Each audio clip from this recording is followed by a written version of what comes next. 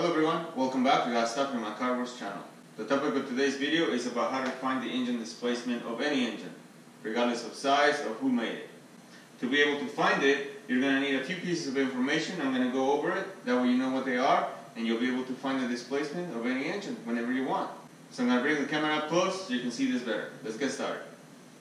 So to get started, let's start with the definition of displacement, which is also known as the cubic capacity of an engine.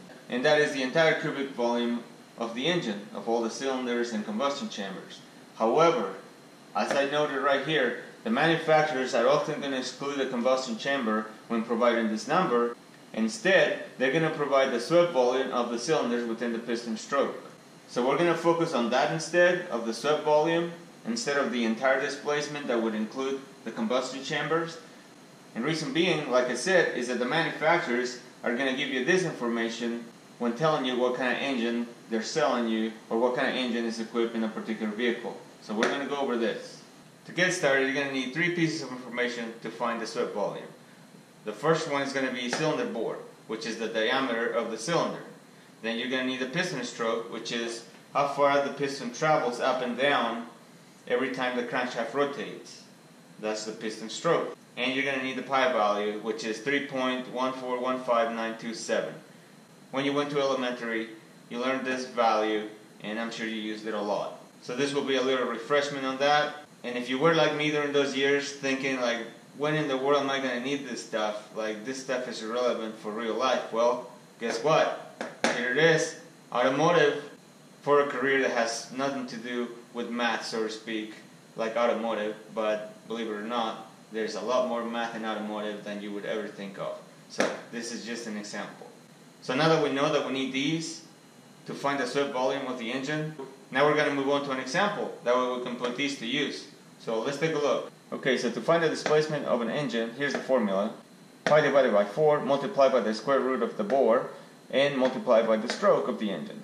So we're going to see if this formula is accurate. We're going to go ahead and provide an example just like I said.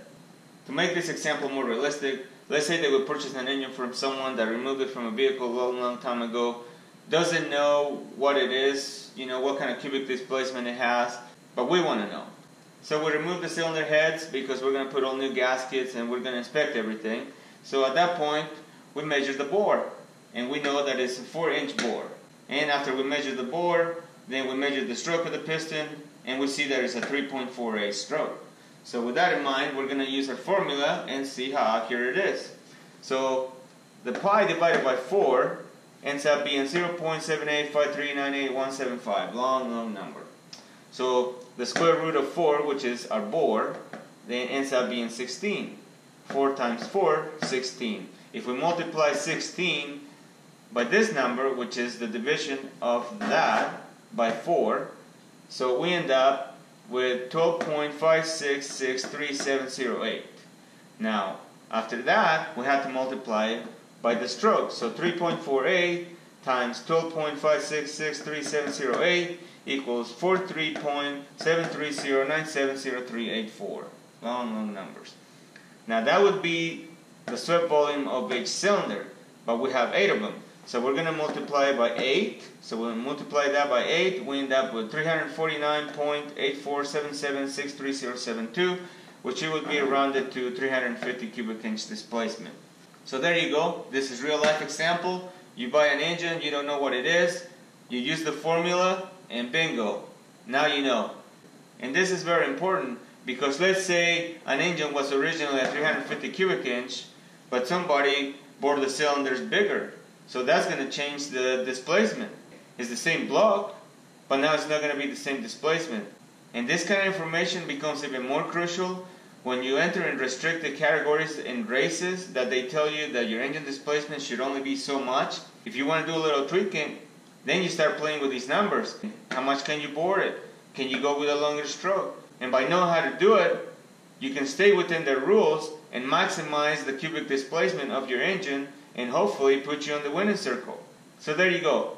All the math classes that you took in elementary and beyond are going to be put to use here because I'm going to be having more formulas for you in upcoming videos with different examples of different things related to engines.